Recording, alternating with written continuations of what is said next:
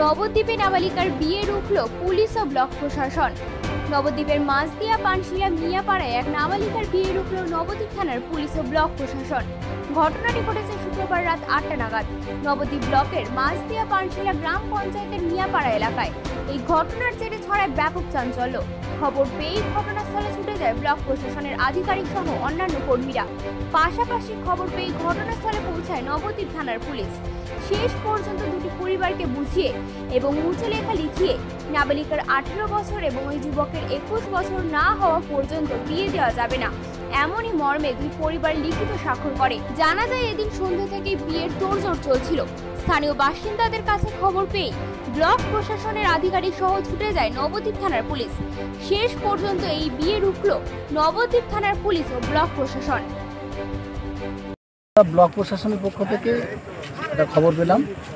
খবর পেয়ে যে মিয়াপাড়া মাঝদিয়া পঞ্চায়েত গ্রাম পঞ্চায়েতের মিয়াপাড়াতে একটা ষোলো বছরের নাবালিকা বিয়ে হচ্ছে সেই মোতাবেক আমরা থানা থেকে তো তারা কি রাজি হয়েছে বা মুসলেখা দিয়েছে? উভয় পক্ষকে মুসলেখা নেওয়া হলো। মেয়ে আলা তার মেয়েকে নিয়ে এক্ষুনি চলে যাচ্ছে বাড়িতে। আর ছেলেরা বলল ছেলেটার বয়সও কম কুড়ি বছর প্লাস বয়স। মেয়েটির কি বাপের বাড়ি নদিয়ায় না বর্ধমান?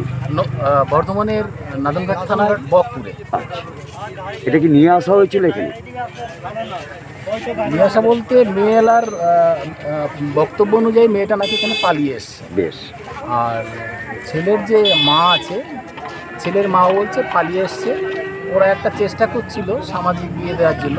কিন্তু এখানকার তো ওই গ্রামের গণ্যমান্য লোক আছেন এবং মৌলভী সাহেবরা ওর বয়সটা কম দেখে বিয়েটা দেয়। ছেলে মেয়ে নিয়ে এসছে আমি আর কি করব? আচ্ছা। আমার আমি কি আর বলেছি নিয়ে আসো। তার মানে আপনি না করেছিলেন এই বিয়েতে মত ছিল? হ্যাঁ, আপনার ছিল না? না না তবু এরা যেহেতু নিয়ে এসেছিল। হ্যাঁ। আপনি এখন কি চাইছেন?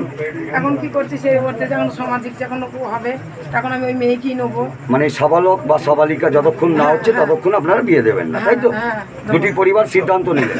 খুব ভালো সিদ্ধান্ত। আপনার নাম? আমার আইনুর বিবি বেওয়া।